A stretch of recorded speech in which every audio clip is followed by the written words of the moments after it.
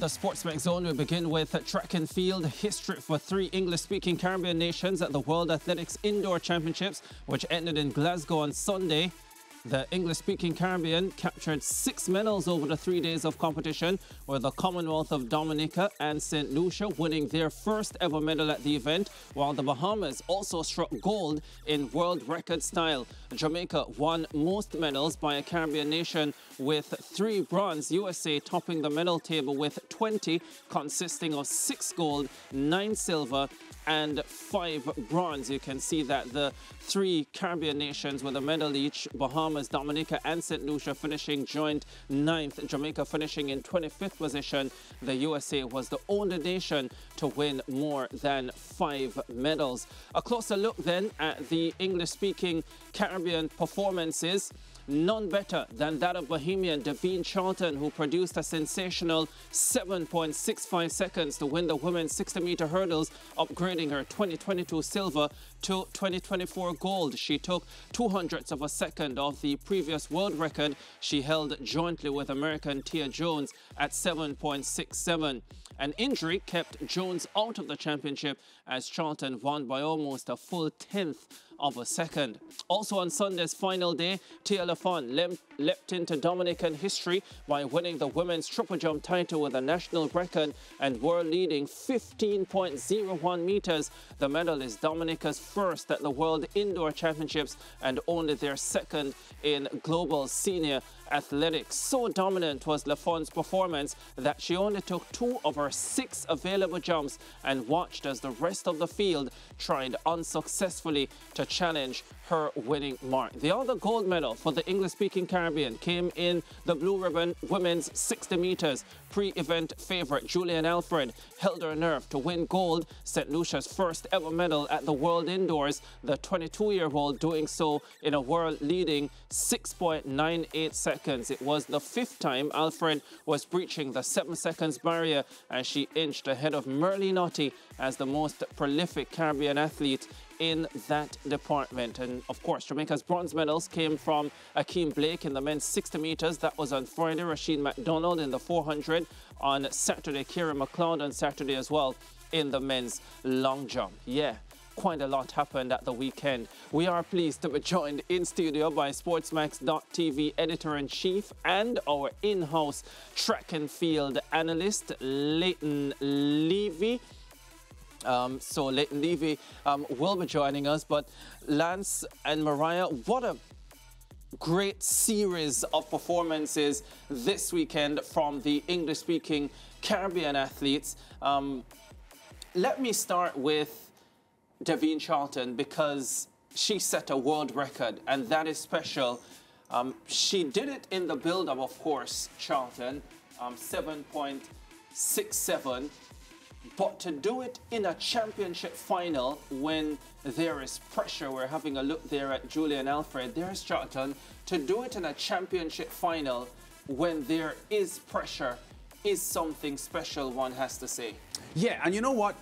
We've known for a long time that this girl is world class, and um, her strength in her sprint hurdling is the strong start that she usually gets. At the Budapest World Championship last year, when the Jamaican Danielle Williams won gold, um, Charlton led up to about 50 meters. So her issue in the 100 hurdles for outdoors is to sustain the early race dominance that she shows. So 60 meter hurdles for her is like a, a cakewalk, cakewalk. And um, I, I know the medals aren't handed out until the races are run, but we're not surprised she won. And we're not surprised that she broke the world record either because it was her own world record. Yeah, false start for Leighton Levy, but we're not going to disqualify him. We give him a reprieve and welcome him to the segment for today. Leighton, how are you doing? What a performance from Devynne Charlton of the Bahamas. It was sensational, wasn't it? Absolutely, Ricardo. If you remember, right after she broke the world record at the Millrose Games, I spoke to her coach, Ronnie Green, and he said he felt she can go faster. He said a half a tenth she didn't quite get there, but still fast enough to break the world record. And I think when when I had that conversation with him, what he indicated was she was a lot stronger this year, a lot more focused, and a lot more confident. And given how we saw her open her season, I think she started out with 780 something and then worked her way down to 772, which was a world lead at the time. Mm. Then broke the world record. And then ran in Madrid. Wasn't as impressive, but I think at the time, maybe a little bit of fatigue before she went back home. And as the plan was, go back to the United States and work on their race before they went to, to Glasgow. And she delivered big time. I mean, it was a fantastic performance, especially since Samba Mayela, actually became the challenge that Tia Jones was expected to deliver. But Mayela came through, Samba Mayela came through and pushed her 773 in the, in the semifinal, 774 in the final, gave her the opportunity to, be pushed to that new record because I didn't expect anything from Masai Russell. History has told me and has been telling me that Masai doesn't perform well in finals. When she's under pressure, she tends to fold. And this was similar again, finishing fourth um, behind the Polish athlete whose name I will never be able to pronounce. But the fact is that she did. You mean Skrzyszowska? Yeah, well, you can do it. Once you can write it on .tv, you're good. I can't even write it. Leighton, I want you to talk me through the the, the, technical execution of the race from Devynne Charlton, one of the things that stood out to me is the way she drove from the blocks. To me, she drove from the blocks as if she was running a flat 60 as if she was at one at one stage. I thought to myself, "Oh my God, she's going to run right into the first hurdle," um, but she was so clinical. Um, and, and I thought that was quite amazing because I'm not sure if I see many hurdlers drive from the blocks in the way she did. Flamingo does, but um, yeah, but this is a different dynamic because the hurdles are higher. But the reality is that yeah, she's look what she's clearly been working on is the speed management and of course her speed between the hurdles.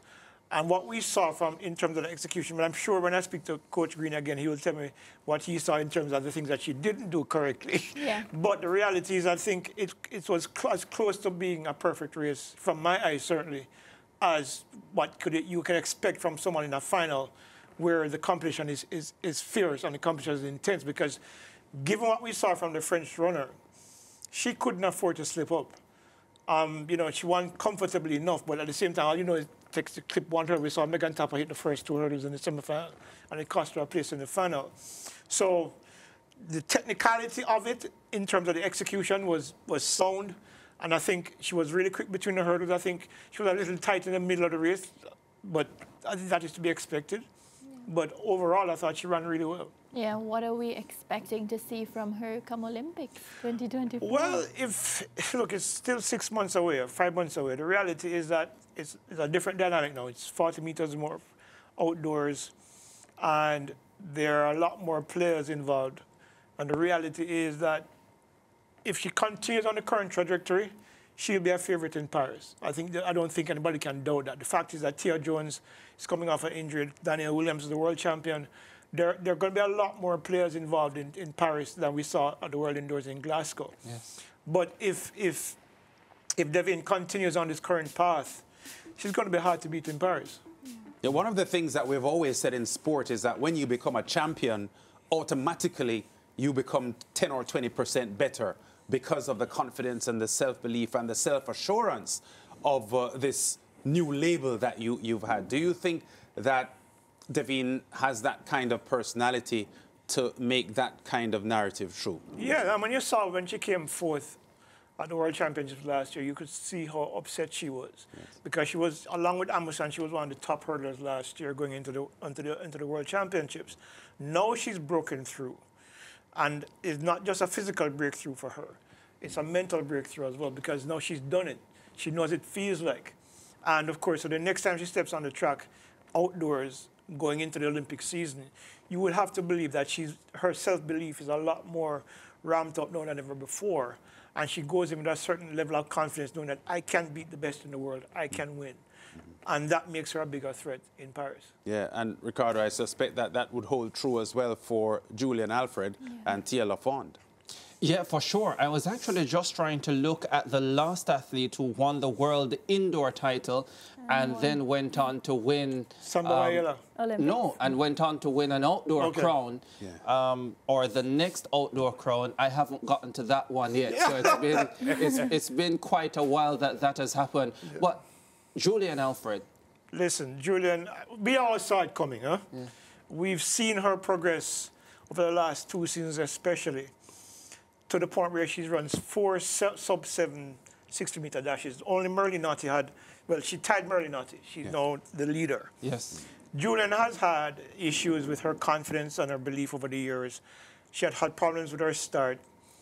But I think all of that came together at the right time at the World Champions because, look, Swoboda was not going to give her that title easy because that title, certainly the world leading time, 698, she ran in the semis. So, so Julien knew that she had a race on her hands because, as I said, Tia Jones wasn't there, but I think the legitimate threat was Swoboda. And if you listen to her explanation after the race, and she said it, you, you, have to understand and appreciate her thinking here. She knows that Swoboda is a better starter. And she said all she had to do was to stay in touch with her because she has superior speed. She's a 10-8 and 10, trending towards a 10-7 sprinter in outdoors. Swoboda hasn't gotten to that level yet. So if she stayed close enough, she could track her down with her superior speed. She got a little bit tight late in the race, which is understandable, but she did enough to, to get over the line by 200 of a second, but that's all you need. And I think what we've seen from Julien now tells me that she could be someone to look out for. I mean, everybody's talking about Sha'Carri Richardson and Shelly-Ann Fraser Pryce and Elaine Thompson and, of course, Shericka Jackson. Yeah. Come this summer, she could be another player, a legitimate player mm. for a medal on the podium come Paris because now she has what she's been seeking all along, a title, a global title as a senior athlete, her first as a pro. That's a good way to go into the outdoor season. Yeah, I'm keen to hear you develop on that point, um, Leighton, because last year, when we were assessing worlds and so on, while you recognized Julien Alfred's quality, you did say that when it came down to the medals, you didn't put her in that conversation, even though we expected mm. her to do well. So but you are now doing that. Yeah. yeah, I am doing that now because um, you see, breakthrough is sport, look, everybody trains pretty much the same way.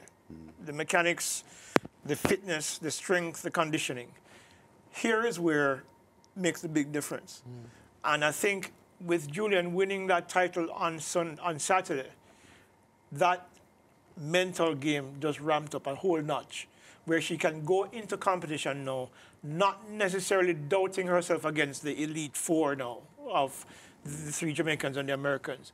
But she now knows that she's likely to be able to match them. Because let me, for, for those Jamaicans who are probably not pulling their hair out, mm. the time that Julien Alfred won with this weekend is the same time that Shelly and Fraser Pryce and Elaine Thompson here have run indoors, 698 which is are the 11th fastest times in history. She's now joined them at that level. There's no reason to believe that with that additional 40 meters, given her strength, given her endurance, given the fact that she runs 22.01 indoors, that she will not be able to contest and contend along with the likes of the Ta Lou and the other players who are on the cusp but are yet to break through into that, into that elite, of the, among the elite. And I think this win this weekend could actually do that for Julien Alfred. And she's 22 years old exactly. and improving exactly. all the time. Tia Lafond, what a performance. What a dominant performance. Listen. Second round, 15-0-1, and, and said, that's it. So you rest you're going to do your thing. I'm cool. um, when I spoke to Tia after she jumped the 1490 at the World Championships last year, I said, this obviously is a new, new personal best for you. Were you happy with the performance? She said, no. She said, there are still some areas that I'm not doing as well as I need to do. Mm -hmm. So she, she still believed that she had room for improvement. And you saw that on her second jump. Her, all the phases were a lot better than previously. She opened with a 1460 at a little high school meet, where she was under no pressure whatsoever. And you could see the development coming in the different phases. The first phase, the first attempt was 1440, I think it 1443. was. 1443. Yeah. And then she came back and she, she got everything, well, not everything, but certainly most things right. Yeah. From the from the first phase through the second phase to the jump, which was phenomenal, and got that 15 over. When I saw it, I literally dropped my pen because I was actually making notes. and I was like, is that 15 meters? Because, you know, sometimes yeah. the, the, the, the, superimposed lines are not necessarily linear. Yeah. yeah. And when, so when the measurement came up and saw 15 over, I'm like, yep. And I reached out to her. She didn't, hasn't responded yet, but I'm sure she will eventually. but the fact is that she now I think now also becomes a player outdoors as well. Yeah. because the triple jump is not much different indoors from outdoors. The wind factor is not that much of a factor anyway. So the, reality is now, along with, with Daniel, with um, Sher- Sharika, Shanieka Ricketts. Ricketts, sorry. Yeah. She's now a 50 meter jumper. So, you know, the, the, the outdoor game is going to be a lot more intense this summer. Yeah. By the way, a few Caribbean women have gone over 15 meters Com- in the triple jump, but none Not- before it- now no. had done it indoors. Indoors. So Two Tia Cubans, Lafond yeah. is the first to do it 1504 and indoors. 1501. Yeah. So I want to get to the point as well, Leighton, about what this means for the Lesser Antilles. Um, Tia Lafond was speaking about it, where she said when she saw Julien Alfred win the gold medal on Saturday, she thought to herself, wow, I want to be part of this for the Lesser Antilles, to create history for my country of Dominica. We share um, cultural similarities, and it's just great that we've come together in this global space to put our countries on the map. It is massive, isn't it? Listen, back in 1948, when Herb McKenley and the crew were doing great things at the Olympics in 1948, it created a sense of belief among Jamaicans Yes. that they can compete with the rest of the world. I think it started before that, but I think 1948 galvanized the belief. Um, with George Rhoden, of course, and you know Arthur Wint and Herb and Les Laing. And we've seen it over the years build through to Lennox Miller, to Donald Quarrie, to Raymond Stewart, to Usain Bolt, etc., etc. And on the women's side as well. Yes. With in 1980 when she first won the, Jamaica's first bronze in, in At Moscow the Olympics, yeah. right? And you saw it progress over the years uh, through, you know, Vernon Campbell Brown, Beverly McDonald, and, and you know, everybody knows the, the rest of the names.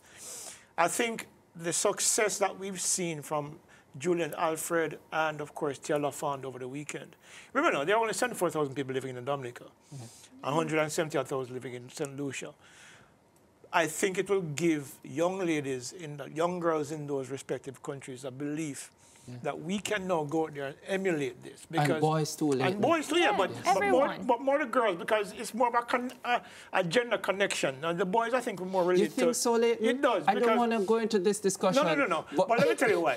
yes. Um, when Donald Quarrie was doing things in the 1970s, Yes. everybody in my class Yes. was wanting to run fast, not the girls. Yes. The girls were like, okay, let's go watch But something. Leighton, you know when I go on the street, right? And and we're rushing us out of here. When I go on the street and I ask athletes who is their favorite athlete, and I'm talking about male athletes now, and they consistently tell me Shelley Tell and Fraser Fraser Pryce, Pryce. yeah, because- and these are boys. Yeah, I, I don't know if that Why is that?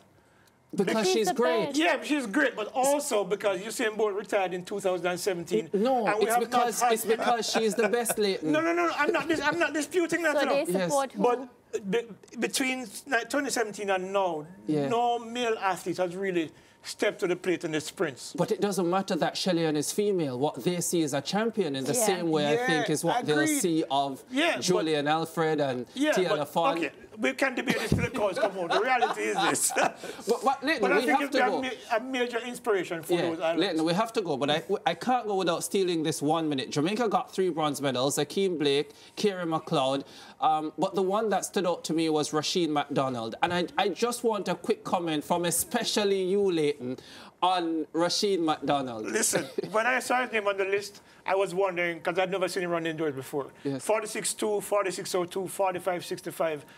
In his first real campaign indoors, he, he- if it wasn't for these three ladies from the rest of the Caribbean, Yeah. he would be my performer from the Caribbean. Absolutely amazing performance. Yeah. Remember, no, Alexander Doom, the man who don't the name of supervillain. I swear to God, it's the, it's the nicest name I've ever heard. And of course, Karsten Warholm are the people who beat him. And he was close. Yes. Yeah. And had he drifted over into lane one a little earlier, he could have been a little Yeah. bit closer as well. Yeah. Kudos to him, and looking forward to seeing what he does outdoors. Fantastic performance. Yeah, by the way, his 45-65 performance is the fastest by a Jamaican outside of the intercollegiate system. Yep. Yeah, take from that whatever you will. That's it for this segment on the Sportsmax Zone. Hope you enjoyed. We rush into a break. We'll be back with more.